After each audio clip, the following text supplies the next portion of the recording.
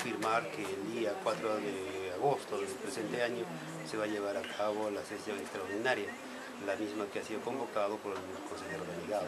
De esta manera, el secretario general del Consejo Regional confirmó la convocatoria a sesión de Consejo Extraordinario, cuya agenda será Y otro es la solicitud presentada por el ciudadano Esteban Dionisio Cachavilla sobre la vacancia del señor Waldo Enrique Ríos Arcedo y otro que el oficio remitido por el Poder Judicial, que es el oficio número 3393, referido a la petición realizada en atención a un acuerdo de consejo. Planteada la agenda, buscamos la opinión del Consejo Regionales, a quienes preguntamos si el gobernador regional Luis Gamarra Alor debería ser cambiado o ratificado en el cargo. Si están todos los actuados de la vacancia de Waldo, se tiene que dar la vacancia, para la redundancia.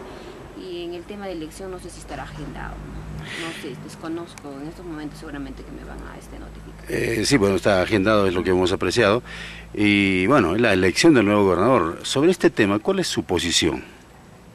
Bueno, eso se tiene que consensuar con todos los consejeros de las, de las 20 provincias para ver este, la ratificación o la elección del nuevo gobernador regional. ¿no? Para el consejero regional por Gualmey existe una compra de votos para la ratificación de Luis Gamarra en el cargo. Me pareciera que, que esto ya está mañado, ¿no? Me pareciera que, que simplemente buscan que se trate la vacancia para poder ratificar a este gobernador, ¿no? Que lamentablemente durante estos días ha acercado mucho más a los consejeros que votaron por él y que en algún momento se desencantaron por el maltrato que les dio, pero sabiendo que en realidad existía la posibilidad que este, a este señor ya pues se le vuelva su curul. Muy distinta fue la posición de la consejera regional por Huaraz, quien dijo que su voto se decidirá al momento, el viernes. ¿Así entiende? ¿Debe ratificarse o cambiarse al gobernador regional?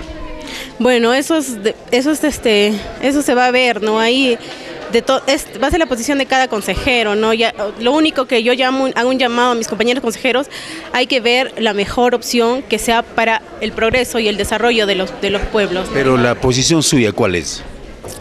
No, como le digo, ¿no? Este, yo quiero el desarrollo de mi pueblo, ¿no? Nuestra interrogante también fue lanzada al consejero regional por la provincia de Siguas, Hermenegildo Morillos, quien planteó así su posición. Yo mi posición es que tiene que elegirse un nuevo gobernador, definitivamente. ¿no? Mm, eh, bueno, eh, esto por las consideraciones seguramente que usted ha analizado en estos meses que tiene la gestión el señor Gamarra.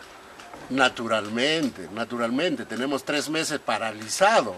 Tres meses paralizado la gestión pública, ¿no? Entonces, no tenemos ningún resultado. Imagínense que Chinecas, después de tres meses, el día sábado recién ha habido este, sesión de directorio. Entonces, este viernes se decidirá la suerte del gobernador regional Luis Gamarra Alor. ¿Se queda o se va? ¿Qué opina usted?